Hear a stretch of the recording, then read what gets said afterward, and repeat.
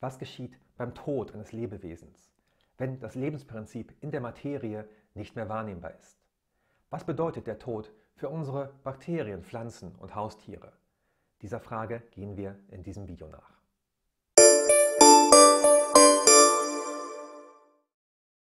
Hallo und herzlich willkommen zu Sechs Dimensionen in Farbe. Mein Name ist Hannes Schmidt und ich erkläre euch die Gedankenwelt von Burkhard Heim in verständlicher Sprache und anschaulichen Beispielen. Maximen steuern die Entwicklung aller Dinge aus X6, vom Subatomaren bis zum Lebewesen. Im letzten Video habe ich euch zwei verschiedene Arten von Maximen vorgestellt, Inframaximen und Extramaximen. Extramaximen sind unmittelbar an ein genetisches Muster gebunden. Sie steuern einen Lebensprozess, dessen Individualität nicht immer eindeutig ist. Dafür kann sich diese Art von Lebensprozess aber auch offenbar beliebig lange fortsetzen. Wir sprechen ja hier von Bakterien, niederen Pflanzen oder Pilzen. Die von ihnen aufgespannte äonische Aria ist daher dysvariant, vielleicht noch partiell televariant. Inframaximen hingegen induzieren bei einer sexuellen Fortpflanzung einen individuellen Lebensbeginn. Die von ihnen induzierte äonische Aria ist mindestens partiell televariant. Wenden wir uns nun der Frage am anderen Ende der Aria zu. Was geschieht beim Tod einer Entität? Ein Bakterium wird vernichtet oder gefressen, eine Pflanze wird geerntet, ein geliebtes Haustier stirbt. Wir können beobachten, dass der Körper vollständig den Zerfallsprozessen der Physis überlassen wird, indem nur noch die negativen, das heißt Entropie maximierenden Maximen der Totalitäten 6 und der Pseudototalitäten 7 wirken. Was aber geschieht mit dem Ilkor, mit dem, was das Leben eigentlich ausgemacht hat? Wir haben den Ilkor als eine Struktur kennengelernt, die Sinnesreize aus dem Körper aufnimmt und Reaktionen zurückgibt. Die damit verbundenen Aktivitätenströme bedeuten Bewusstsein.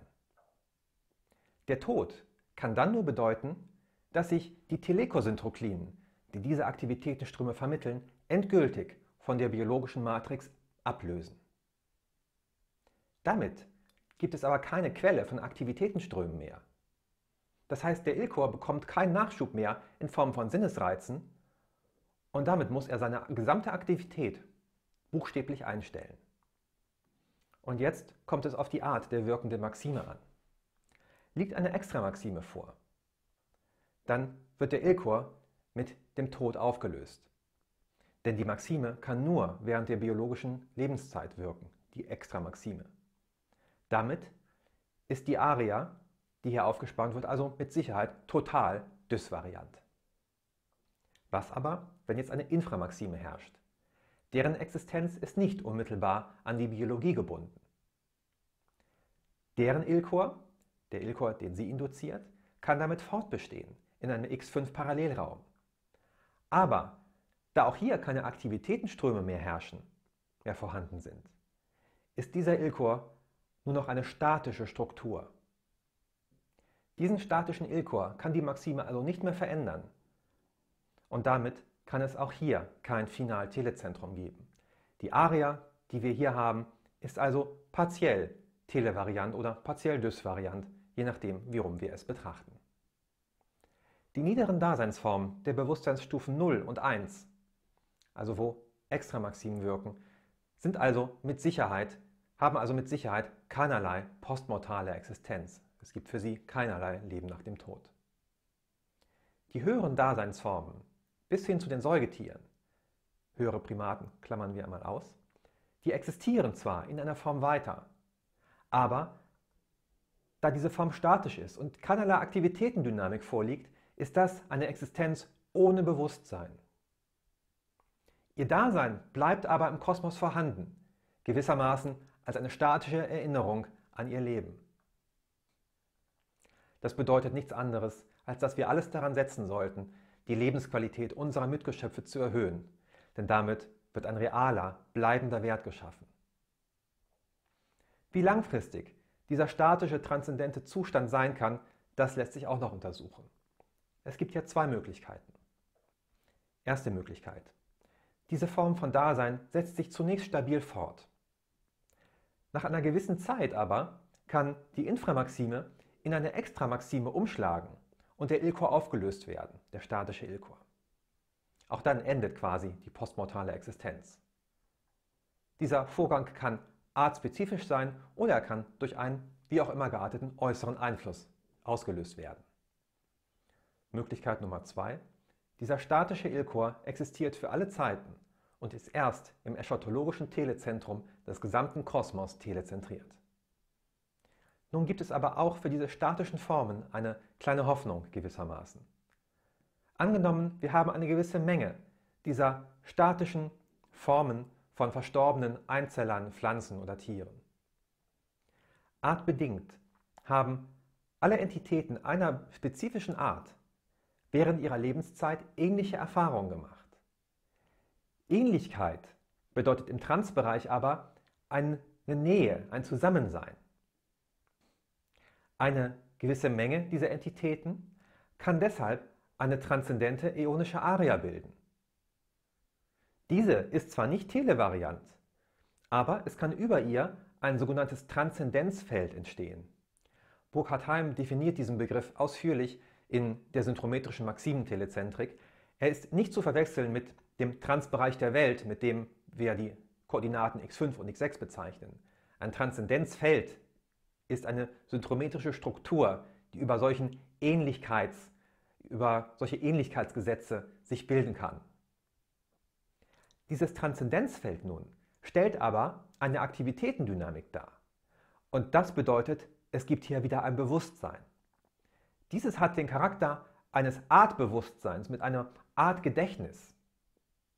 Für unser menschliches Dasein können wir das vielleicht identifizieren als Carl Gustav Jungs kollektives Unbewusstes. In diesem Artbewusstsein kann nun eine gewisse Dynamik entstehen, die umso höher sein dürfte, je größer die Vielfalt der gemachten Lebenserfahrungen ist, der Einzelentitäten, die darin integriert sind. Gerade wenn sich etwa Umweltbedingungen in der physischen Umgebung dieser Art stark ändern, dürfte sich diese Dynamik erhöhen. Diese Dynamik kann dann aber zurückwirken auf Muster sich inkarnierender Maximen und damit zum Beispiel Wahrscheinlichkeiten für genetische Mutationen erhöhen, die eine verbesserte Anpassung an diese Umweltbedingungen ermöglichen. Und so können sogar Evolutionssprünge ausgelöst werden. Dieser Prozess ist also eine mögliche Lösung des Rätsels der in der Erdgeschichte beobachteten Evolutionssprünge, die ja rein statistisch gar nicht auftreten dürften und über deren Ursache sich die Dogmatiker beider Lager, Kreationisten wie Darwinisten, regelmäßig in die Haare kriegen. Natürlich ist die Heimtheorie damit weder kreationistisch noch widerlegt sie Darwin. Charles Darwin hat vor allem beobachtet, dass es Evolution geben muss und diese Beobachtung gegen die Dogmatik der Kirche verteidigt seinerzeit. Über die Prozesse, die dahinter steckten, hat er überhaupt nichts aussagen können. Genetik und Radionukliddatierung, das kam ja erst viel später. Und erst viel später hat sich dann die mechanistische Sichtweise durchgesetzt, die an Darwin diesen Ismus herangehangen hat und von Dogmatikern wie Dawkins vertreten wird. Evolution findet also statt, aber sie ist kein mechanischer Prozess. Das biologische Dasein hat Konsequenzen für das Dasein im Transbereich und das Dasein im Transbereich wirkt zurück auf das biologische Leben. Interessanterweise vertritt auch die klassische Biologie bzw. Evolutionsforschung die These, dass es die sexuelle Fortpflanzung war, die es ermöglicht, den Evolutionsprozess so stark zu beschleunigen, wie man es beobachtet. Genau dasselbe Argument ergibt sich aber aus der in diesem und dem vorigen Video dargestellten Sichtweise. Die sexuelle Fortpflanzung erfordert bzw. ermöglicht das Wirken von Inframaximen, die eine transzendente Daseinsform induzieren können. Deren postmortale Dynamik wirkt dann zurück auf die Evolution der Art oder der Arten in der inkarnierten Biologie. Natürlich ist es auch vorstellbar, dass hier im Transbereich Wechselwirkungen zwischen den verschiedenen Arten direkt auftreten. Und diese Transzendenzfelder, also dieses Artbewusstsein, das kann durchaus televariant sein. Das also sind die postmortalen Möglichkeiten, die für unsere Bakterien, Pflanzen und Tiere bestehen. Es bleibt immer noch die Frage, was geschieht mit uns Menschen jenseits dieser Unstetigkeit, die wir Tod nennen. Bevor wir diese Frage behandeln können, müssen wir unser Bild der Psyche noch etwas vervollständigen. Daher bitte ich noch um etwas Geduld für ein paar weitere Folgen von sechs Dimensionen in Farbe.